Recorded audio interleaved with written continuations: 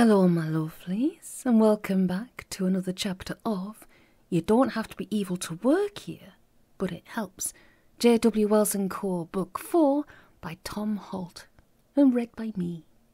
I would like to give some special thank yous today because you're all so wonderful and you make the effort to leave comments and you come back every time and you listen. And I'm really, really grateful to you. So I'm going to do a little shout out, and that's for Bear and Jeannie and John, Rose Brody 6618, Flat Cap Gaming, Lysandra Bouquet, Tyrese Joyner, and Tony Ollier. Sorry if I've missed anybody or mispronounced anybody, but I just wanted to say thank you. I do appreciate you very, very much, and you do make all of this worthwhile. If you want to share, awesome. If you like subscribe, that's even better. Um, if you want to ring that little ding ding notifications bell, that's fantastic. But if you leave me a like, oh, that makes me smile. so, here we go. Chapter 16. Benny Shumway lived in a small house. Two down, two even further down, a quarter of a mile under Fulham Broadway. He'd moved there when his fifth marriage self destructed in a blaze of emotional fireworks. He'd needed somewhere to move out to in a hurry, and it so happened that a distant cousin of his had the place on his hands and was looking for a short term tenant. Ten years later, Benny was still there, having bought the freehold from his cousin. It suited him. He liked traditional dwarf built houses, laboriously chipped out of the living rock with hand tools, and it was conveniently situated, small enough to be no bother to maintain, and separated from its nearest neighbour by five million tons of solid sandstone. He only went there to eat, sleep, and iron shirts, so its bare functionality suited him perfectly. A bachelor pad, a pied sur terre, just the ticket. Except, of course, on Dustbin Day. There were some dwarfs, avant garde young tearaways with no respect for tradition, who'd installed lifts to take them to and from the surface. But Benny wasn't one of them. His link with the open air was a spiral stone staircase, as tightly coiled as a spring, each step one glassy smooth, and, of course, no lights and no handrail. It deterred unwanted visitors, for one thing. It looked right. It was good exercise, and you weren't at the mercy of electricity. But the fact that he had to be met squarely and head on, it was a real bummer hauling the dustbin bags up it once a week. Benny paused halfway up and caught his breath.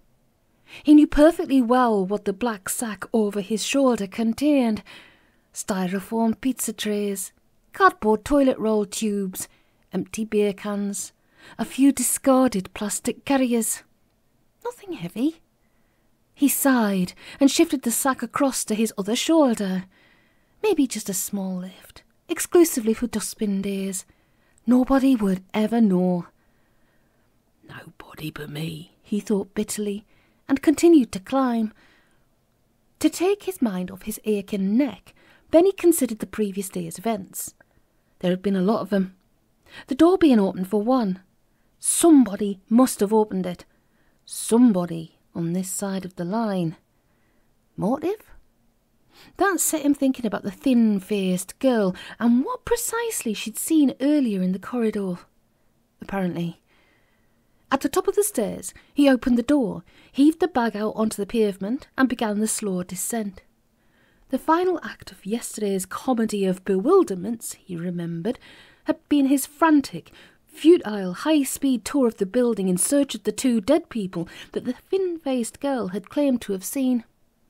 He'd wasted most of the afternoon on it, and eventually he'd ended up in the closed file store, a place he'd never liked much nor dead people in there, and he'd finally come to the conclusion that Thin Face had either been hallucinating or else she told him a deliberate porky just to be mischievous. As he'd been about to leave, he noticed that someone had left the card index drawer open and had been rummaging about it like a terrier among the letters F and H. That had in turn prompted him to waste another hour doing some research of his own, the results of which had been mildly interesting. In fact, it was probably a clue, possibly even the answer.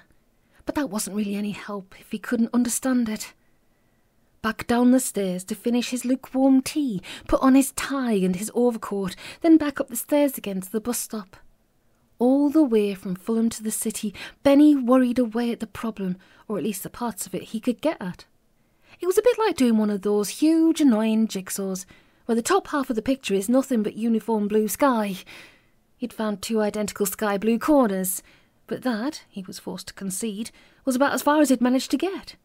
It was infuriating and humiliating, and he devoutly wished that he'd never got involved in the first place. On the other hand, all the evidence seemed to suggest that Connie's job was on the line, so quietly forgetting about it wasn't an option. Thanks to roadworks and other examples of divine spite, Benny arrived on the office doorstep at seven minutes past nine. He hated being late, but at least there didn't seem to be anyone on reception to notice. He barged through the front office and sprinted up the stairs to his office. He'd read once that the wicked multinational capitalist thugs that were despoiling the Amazon rainforest at a rate of 25 acres a minute, bad, obviously, but not his immediate concern. He'd wondered, however, what on earth they actually did with all those trees, and now it seemed he had the answer. They mashed them into wood pulp, rolled them out into paper, printed stupid annoying forms on them, and piled them up on his desk the moment his back was turned. Benny sighed, sat down behind his desk, and realised that, thanks to the magnitude of the pile, he could no longer see the door he'd just come in through. Wonderful.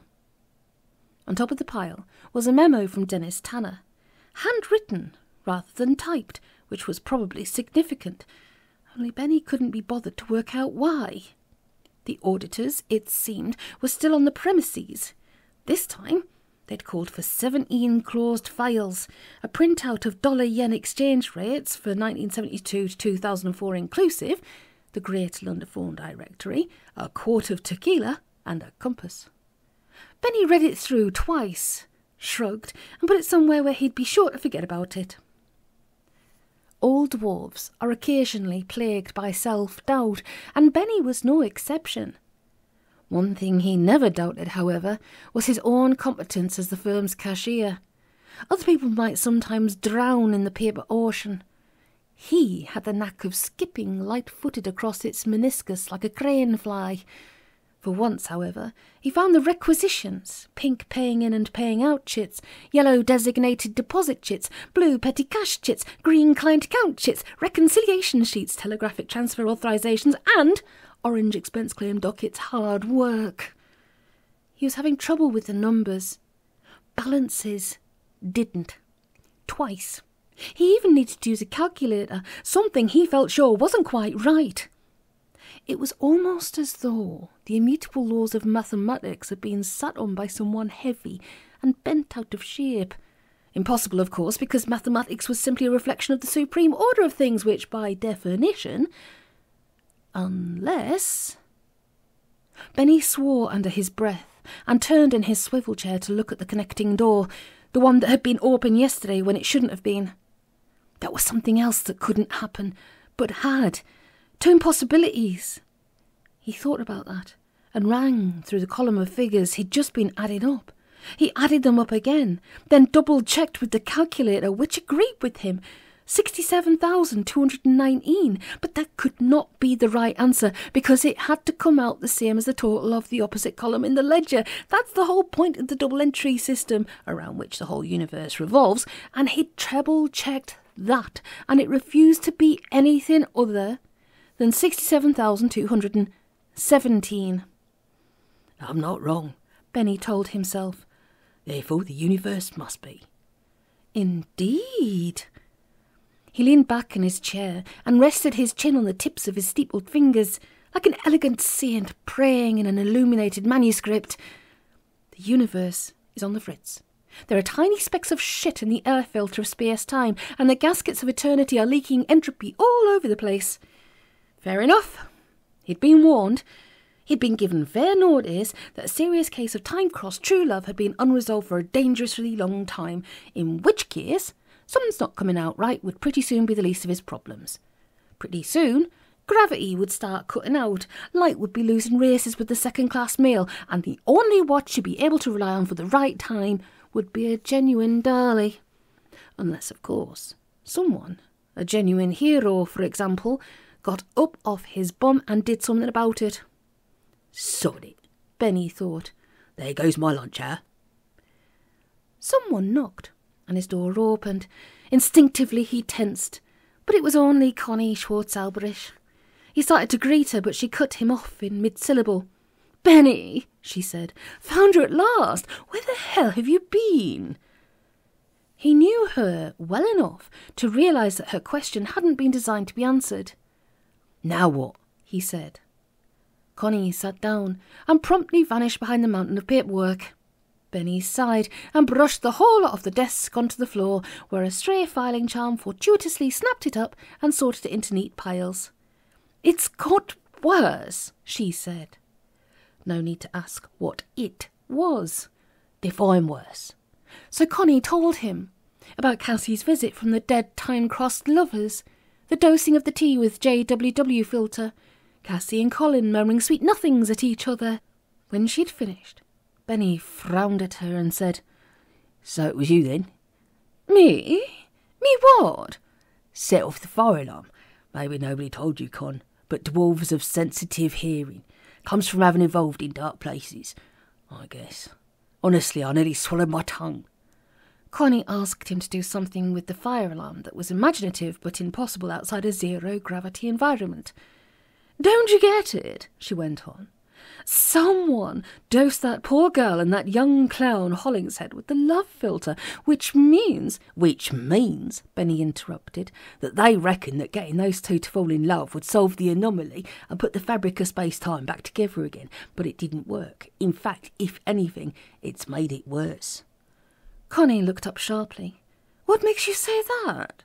Benny grinned. Ah, he said.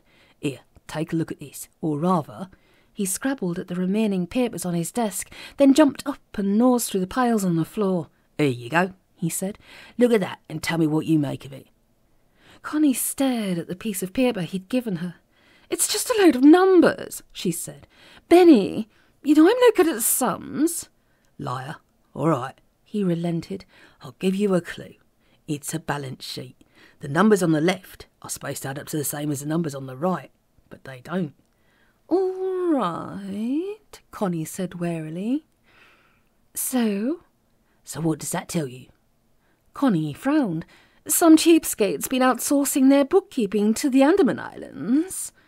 I, Benny said gravely, compiled that balance sheet. Therefore, I know for a stone cold dead, absolute, unalterable certainty that the numbers should add up. They don't. Therefore, he went on before Connie could say anything, it inevitably follows that the laws of mathematics aren't working properly. The tip of Connie's nose twitched. The anomaly, she said. Exactly. And, Benny went on, I think I've got an idea why. That contract you were telling me about. The Hollingshead boy? That's right. When he dies, his soul goes to hell, right? Connie nodded. Which is a bit unfair, she added. I mean, yes, he's neither use nor ornament, but. And if your soul goes to hell, you can't reincarnate. Sure, Connie agreed. But so what? Doesn't have to. If the anomaly can be put right. True love till death is what's needed. After death, they can drag him down to the brimstone pit and set him to lighting Bill Clinton cigars for all eternity, and it won't make a bit of difference. Possibly, Benny replied frowning, but I've got a theory about that. His frown deepened. Tell you later, he said. First things first, we better have a word with young Cassie, don't you think? Connie shrugged. If you think it's important, she said. It's not like I've got anything better to do, apart from finishing off some piece of shit stuff for Kaz Suslowicz. Benny stood up. It's important, he said. They pay me to keep the books straight, and I can't do that if the laws of mathematics are up a tree. Let's go and find Cassie. They found her in her office. She was sitting in her chair with a typescript in front of her. The Hollingshead contract, with big teardrop shaped splodges all over it. Oh, for crying out loud, Connie said, no pun intended, as she noticed the contract. Have you been sitting there moping all morning? Yes, Cassie said. And I know, she added, with a faint trace of her old self. It's pathetic and stupid, and also it's not me, but. Quite, Connie said. Look, I have brought Benny up to speed, and he seems to think. Listen, will you? Cassie snapped. Yesterday, when we were talking, I quarrelled with Colin and he went running off, and then it was going home time, so I tried phoning him at home, and he wasn't there. Benny shrugged. So? So I phoned again, all evening, and then first thing this morning, I kept getting his mother, Cassie added, with a faint shudder, and she kept asking who I was. It was really embarrassing. Anyway, the point is, he didn't go home last night, and they don't know where he is. The representative from the very bad people's been ringing too, apparently, which is very bad, because if Colin misses so many days at work without a doctor's note or a good excuse, they can forfeit the contract. I'm worried about him, Connie. After you left him yesterday, did he say where he was going? Connie scowled. Sort of, she said. I told him to go and find you. Two and a half seconds of dead silence. I see, Cassie said quietly. You sent an outsider to go searching the building on his own, just before locking up time, at which point the goblins are unleashed and let out to play. For a further second and a quarter, Connie was uncharacteristically silent. I'm sure nothing's happened to him, Cassie, she said. I mean, the goblins can be a bit rough and tumble sometimes, but they don't actually eat people. She hesitated. Not recently, she added. It must be, what, seven years since the last? Five, Benny muttered. And anyway, Connie struggled on, if that had happened, there'd have been bones and stuff. We'd have heard about it by now. You know what gossip's like in this place. Benny, she added savagely, you really are a complete bastard, scaring the poor girl like that. He's dead, Cassie said mournfully. He came looking for me because I'd been horrible to him. And he got lost, and they locked the doors, and the goblins got him, and it's all my fault, and I'll never forgive myself. And, and, and... He can't be dead, Benny said suddenly. Think about it. If the very bad people have been ringing his house asking where the hell's he's got to, he must still be alive. If he was dead, they'd be the people most likely to know about it after all.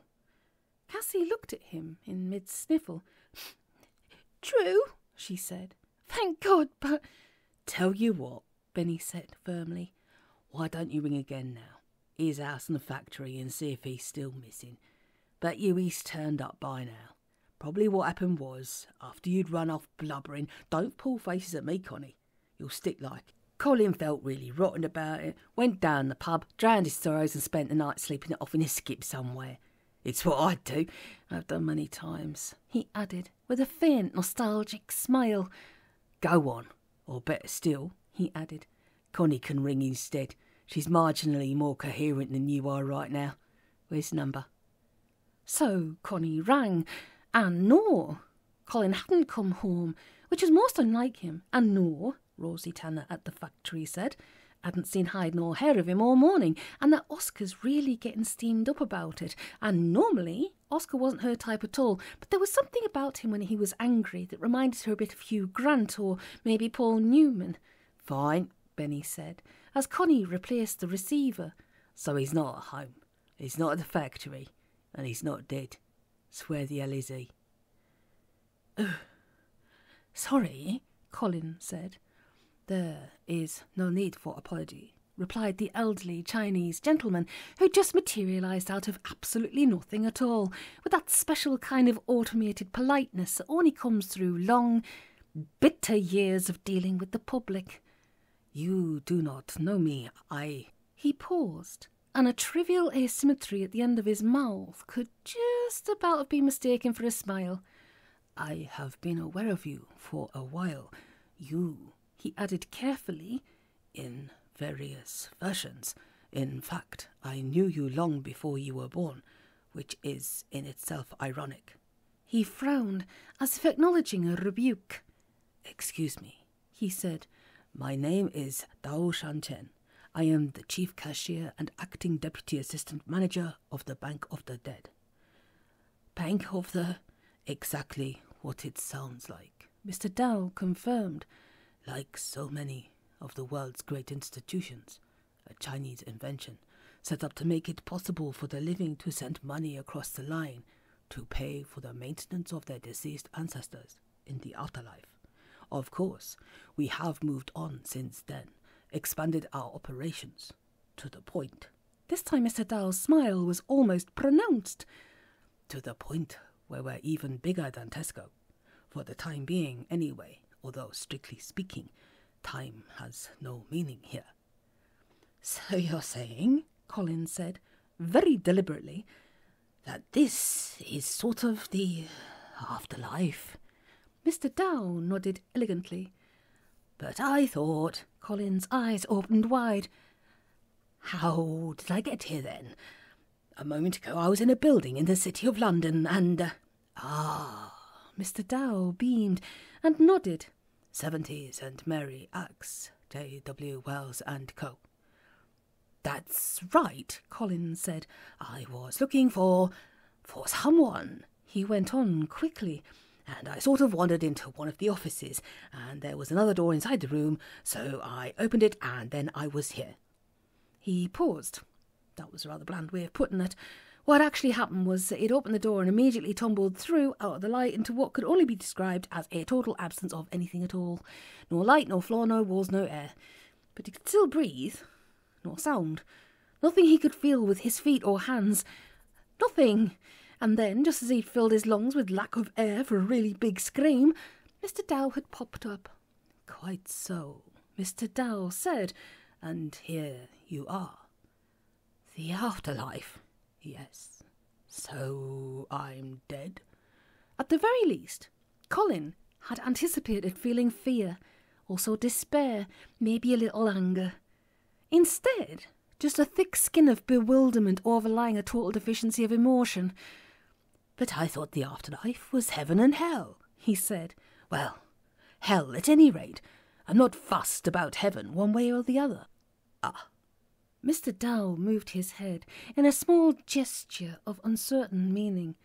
Many cultures believe in a very bad place and a very good place. In order to meet their requirements, the bank has various subsidiary franchises in, let us say, the hospitality and entertainment sector. Those who seek hell will find it here, and just because it has been carefully designed to accord exactly with their expectations doesn't mean it isn't entirely real. Colin nodded. The very bad place, he said. Quite so. Right, and the very good place? Mr. Dao sighed. You just left it.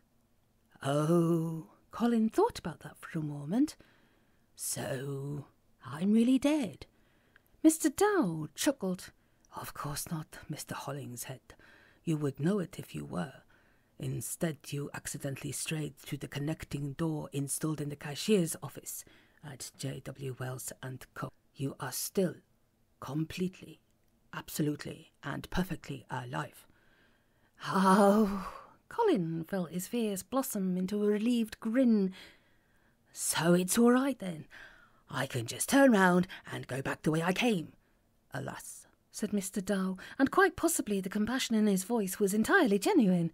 Unfortunately, there are quite strict regulations and protocols about the use of Transinia connecting doors. Access is restricted to customers of the bank, their employees, and agents. You are not, I believe, employed by J.W. Wells. Uh, no. Unfortunate.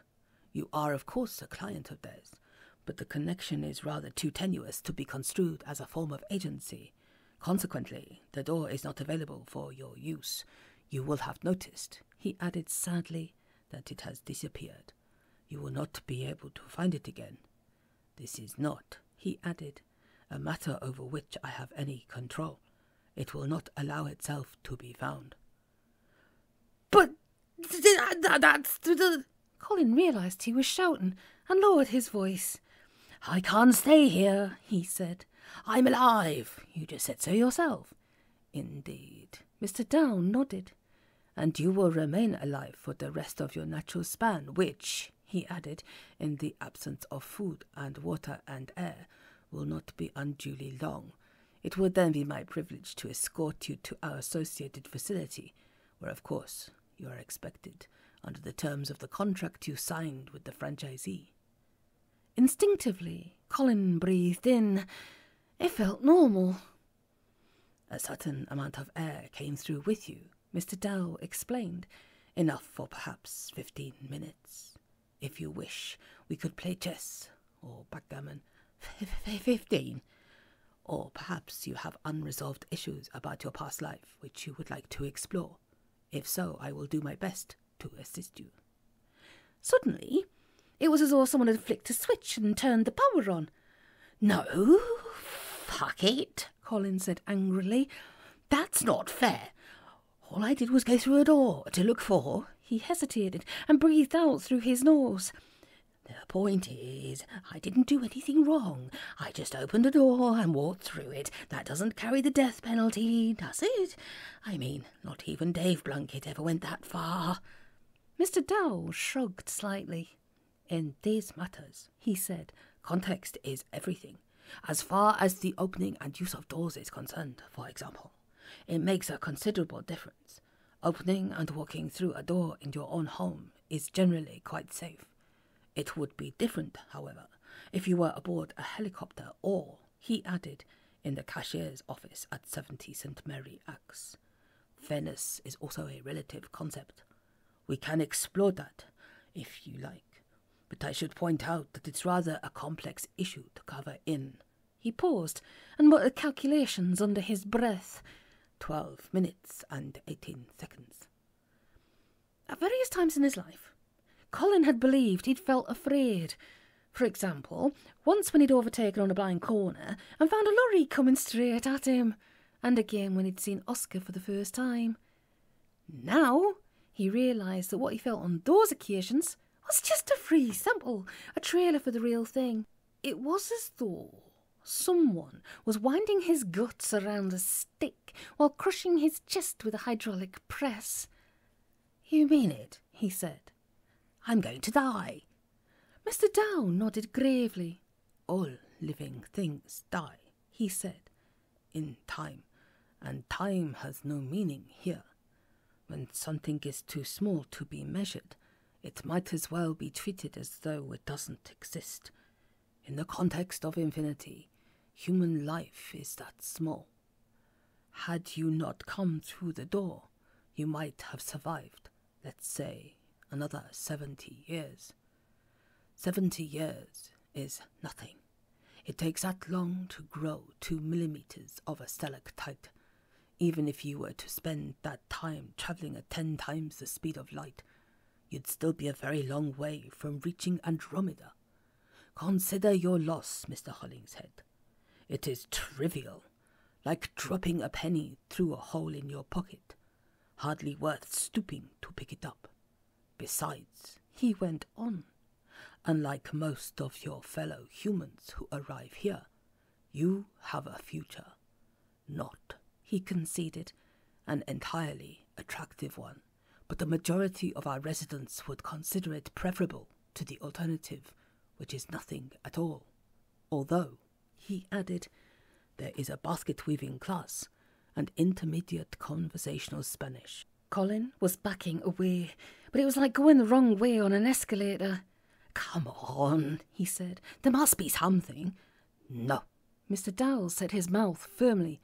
Unfortunately, he added, concessions are available only in the most exceptional circumstances, such as star-crossed true love, and of course, since you have just now resolved the anomaly in which your previous incarnations were involved, that particular concession most certainly does not apply in your case. Accordingly, and then Mr. Dao hesitated. It was as if a message had come through on headphones, except that he wasn't wearing any. He froze, stood completely motionless for a moment or so, and then smiled. Your door, he said, and immediately a door swung open to Colin's left. Light streamed through it, bright and hot as a phaser beam. We apologize for any inconvenience. Have a nice day. Colin took a step toward the door, then hesitated. But surely, he said. Mr. Hollingshead, Mr. Dao said firmly, the difference between luck and a Land Rover is that you don't have to push it to make it work. Quite the opposite, in fact. Goodbye. It was a pleasure meeting you, and of course, this is merely a Wiedersehen. What? Colin said. Then, oh, right. Already the door was starting to drift shut. Colin lunged at it, collided with it, and fell through it into blinding, burning light. When he opened his eyes again, he was lying on the floor of the office he'd wandered into. Next to him was a door. It was padlocked, bolted, chained, and barred, and in case there was still any room for doubt, there was a little notice on it saying, No entry. Fine, Colin said to himself. No problem. He was alive. There had been times over the years when he'd wondered whether being alive was everything it had been cracked up to be. There were a lot of things wrong with life unpleasant people, domineering parents, boring, pointless jobs, maths homework, ravioli, girls who burst out laughing when he asked them out on dates, his stuff in general. And at various low ebbs in his career, he had wondered whether life was a tooth better removed than endlessly drilled into and root filled. To be, he asked himself, or not to be. Now at least he had an answer to that old chestnut. To be. Every time, no contest, and bugger not to be for a game of soldiers. Colin lifted his head a little and gave the door a long, hard look. He didn't ever want to go back in there again. You, someone said, and a hand attached itself to his collar and hauled him to his feet. He squirmed, then a hand let go. He staggered. There you are. We've been looking everywhere for you. It took him a moment to place the short, bearded, bespectacled man who'd just let go of him. A monopoly board, and vague memories of tea shops and pins and needles. Benny Shumway, the man said. We met in Funkhausen's loop. This is my office. What are you doing in it? Colin backed away, felt something obstruct him, looked over his shoulder and saw a desk. I, am sorry, he said. Only I was looking for Cassie Clay. Yes, and then I went through that door there. Oh. The short man frowned thoughtfully. You did, did you? Yes. And now you're back again. Yes, I met a Chinese bloke. The short man's eyebrows shot up. Mr. Dao. That's right. You know him? Oh, yes. And he let you go. Colin winced. I don't think he wanted to. Not at first, he said. But then he changed his mind. He changed his mind. Yes, in fact, he pretty well chucked me out. Fine. The short man frowned, as though trying to crush a beetle to death with his eyebrows. Sit down. You'd better give Connie a ring. Let her know you've turned up at last. You do realise you've been here all night. No, I haven't, Colin objected. I was only in there a few. In his mind, he heard Mr. Dowell's voice. Time has no meaning here. Oh, he said. The short man grinned. Count yourself lucky, he said. You could have been in there for thirty years, and it still felt like five minutes, or the other way round. Of course. So, that was all there was to it then. He changed his mind and let you go. Colin nodded. Bloody good job, too. Look, was that place really? Yes. Now, sit still and be quiet while I phone Connie. The short man picked up the phone and talked to it for a bit, then put it back. She's coming over, he said. Wants a word with you. Me too, for that matter. I don't know if you realise, but you're causing a lot of problems for a lot of people. Am I? I'm sorry, I, I, I didn't mean to. The short man shrugged. I guess being you is a bit like being a landmine. You didn't ask yourself to be left lying around for people to walk all over. And when it all starts going wrong, you're the first one who gets blown up. You have my sympathy, but that doesn't mean you're not a bloody nuisance. In case you're wondering, I asked Connie to tell young Cassie that you'd been found, but not that you're here. Might complicate matters, and we've got things we need to talk about. The short man sighed and sat down on the other side of the desk. Right, he said, resting his elbows and steepling his fingers. How much do you already know about this mess? Telling his complex and unfortunate life story to a complete stranger struck Colin as a dubious course of action. On the other hand, the short man seemed to know more about it than he did, and besides, he'd just come back from the dead. If there was any chance that this strange person with the beard and the glasses could actually explain any of it, he was prepared to take the risk. Well, Colin said, you were there, weren't you, when uh, he stopped? The Monopoly incident. It occurred to him that up till now he'd been assuming it had all been a dream, like the Bobby Ewing arc in Dallas. But the short man knew all about it, so obviously it hadn't been. Funkhausen's loop, yes. So you know about the time crossed lovers thing. What about the contract with the bad people? You know that it's you that's for the high jump, not your dad. Colin nodded. I had sort of gathered, he said. And you know that yesterday someone spiked your tea with love potion to make you fall in love with young Cassie. That, too, Colin said, with a faint, humourless grin. The short man sighed. Then you're pretty much up to speed, he said. And now You've been through that door there, you've met Jackie Dowell, and he let you go. You know, that's rather interesting. In fact, oh bloody hell, what is it now? The phone on the desk was burbling. The short man picked it up, listened, then started up the beetle squashing routine again. No, he said. She's not here, but don't bother ringing round any more. I'll come and deal with him. Yes, fine, bye. He put the phone down and leaned back in his chair. You wouldn't happen to know our new receptionist, would you? he said. Colin nodded. She's my one true love, he said. Or at least, he added with a scowl, she was, until someone put that stuff in my tea. I see. The short man was staring into space. Then he seemed to snap out of it. Well, he said, you may be interested to hear. Your old man's just turned up at the front office, and he wants to see young Cassie. I don't think that'd be a good idea right now, and I feel like a word with him myself. You want to see him? Uh, no. Didn't think you would, somehow. All right, you push off. Go sit in one of the empty offices or something. I'll get Connie to come and find you when the coast is clear. I'm going down to have a chat with your dad. Benny stood up, then stopped. I had a look at the closed file index, he said. Turns out that your dad's company has been a client of ours for 180 odd years. You wouldn't happen to know offhand exactly what it is that we've been doing for you all that time, would you?